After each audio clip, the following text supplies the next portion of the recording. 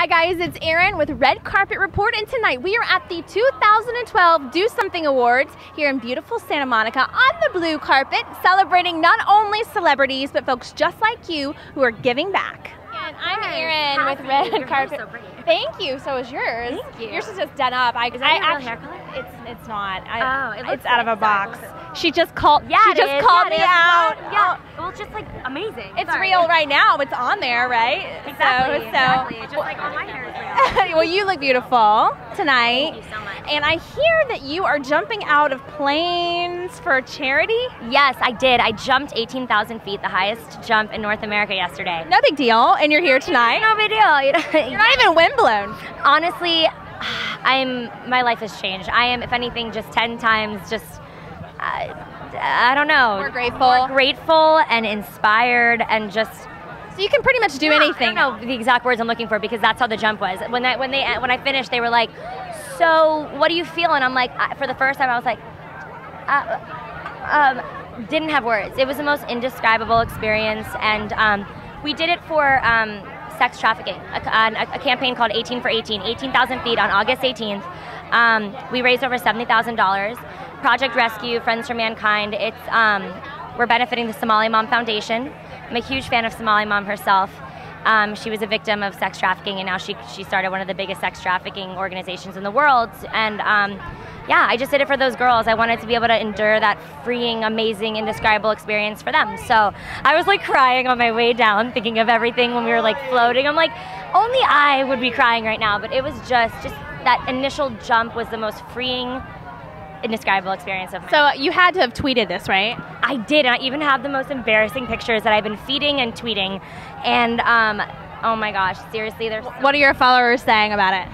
They they're just. I think they're kind of in awe of the fact that I actually did it, and I think that they kind of, some of them kind of want to do it now. They're like, oh, I kind of want to do that. That looks cool. If she could do it, I could do it. So hopefully, I inspire them to try it out because I honestly suggest everybody doing it at least once in their lifetime, whether you're afraid of heights or not. My instructor said he was afraid of heights and got over it by jumping out of that plane. So and now he's been doing it for like seven years. So um, yeah, it was amazing. It was um, the 18 for 18 was, camp- was uh, campaign was founded by Serena Swan, and her and Shay Mitchell from Pretty Little Liars. They put on the um, they hosted the event and the campaign, and um, AnnaLynne McCord jumped, Renee Olstead, one of my good friends jumped. I jumped. Um, Hill Harper jumped. Oliver Trevena jumped. trying to think of everybody. There was a big group of us. Well, well, we can't ever say that we don't like you on screen and off at this point. So tell us a little bit about what's coming up for you, what's happening, some of the new stuff. Um, actually, something really fun is happening that's never happened yet. I have a cartoon coming out for Disney, I'm pretty sure next month, and um, I haven't got the exact date yet. It's called Randy Cunningham, Ninth Grade Ninja, and I play Heidi, and I'm so excited to see my voice in a character opposed to just seeing like myself on the screen. I can't.